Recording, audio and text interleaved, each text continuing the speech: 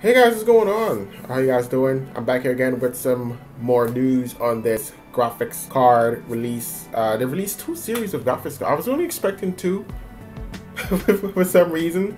Uh, before I start though, I just want to say the show took forever to start. I mean, you know, the least they could have done was catch an earlier flight or something. You know, apologize when you get on stage. Say, I'm sorry, we're late. Okay, so they have two series, two lineups of uh, graphics cards here. They have the R9 and the R7. The R9 is geared towards the enthusiast line, and the R7 is geared towards more performance. Do it all, as they said. They're saying down there. Uh, as you know, the higher number is better. We all know that. So the R7 is is lower, but is not that bad necessarily. You know, for performance, for the price, you got to look at is what AMD is all about. And you have the R9, which is higher up and will have more graphical power. So first on the list is the R7 250. Comes in at 1 gig GDDR5, 2000 on Firestrike, and it only costs $90. Now we have the R7 260X, which packs 2 gigs of GDDR5, scores 3700 on Firestrike, and comes in at $139. Now we are in the R9 series of graphics cards. May I present you the R9 270X, 2GB GDDR5, scores 5500 on Firestrike, and comes in at 199. Next up, we have the R9 280X. This one features 3 gigs of GDDR5, scores 6800 on Fire Strike and has a price point of 299 Of course, this is best for last. Last up, powerful beast of a graphics card. May I present you, ladies and gentlemen, the AMD Radeon R9 290X. Now you're looking at it like, oh man, there's no price. Where's the price at? Where's the specs at?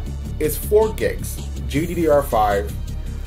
I can't tell you about the specs. I know the memory width is 512-bit uh, and it has 6 billion transistors, and the memory bandwidth is over 300 GBS. So that's pretty much all I can tell you. But I also can tell you that it's coming with Battlefield 4. So if you want Battlefield 4 and you want that card, then you can pre-order on October 3rd. But it's only limited edition. So all in all, you can see a graph there of the graphics cards. I mean, I think they are pretty nice and they are reasonably priced. However, we want to know what the 290X is going to be at. I don't know. They won't say. But I guess we're going to find out on October 3rd when we see the pre-order. But I'm thinking it's going to be anywhere from $500 to 650, right along the lines of the GTX 780. So when it comes down to getting what kind of card you want, I mean, that honestly is a personal preference. That depends on you. Do you want 3 gigs of GDDR5? Do you want 2? Are you fine with 1? Personally, I think you should probably start going on to 2. I'm going to be upgrading my card and going up to 2 gigs, or maybe even 3. I don't know what I'm going to be getting, to be honest. Uh, so, so no one knows what this the price of the card is going to be, but we'll have to wait and find out on October 3rd. So all in all, I'm pretty excited about this. So, yeah, definitely. Other cards' prices are going to go down.